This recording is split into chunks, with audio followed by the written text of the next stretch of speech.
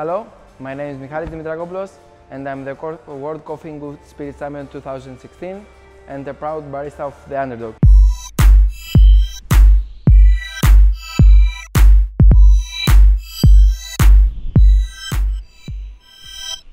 Today I made you for you an Irish coffee.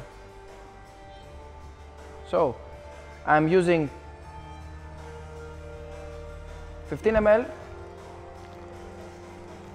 of an Ethiopian one coffee called Tsembe. It's from 90 plus and it's located near Gedeov, Yirgacheffe. Harvested by 90 plus. It's a heirloom variety, it's a natural process and it's cultivated at almost 2000 meters above sea level. We, at the Underdog, roasted it just 8 days ago. It's a delightful coffee. Sweet strawberry taste, followed by jasmine and vanilla notes in the cup. Finishing on a delicate tea-like mouthfeel.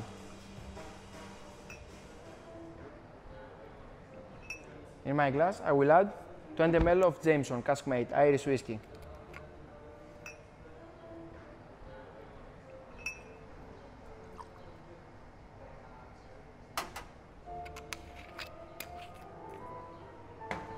Twenty ml of cane sugar syrup, homemade cane sugar syrup.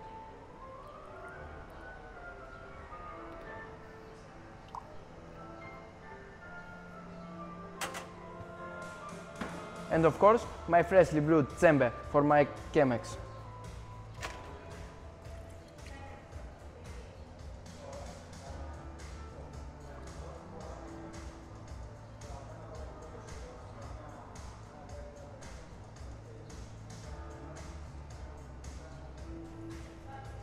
Now, a gently stir in order to homogenize. And I will put the cream over the top.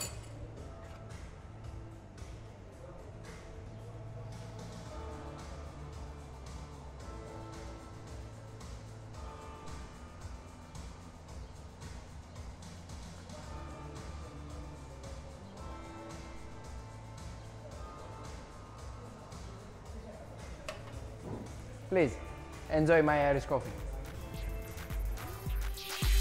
Thanks for watching.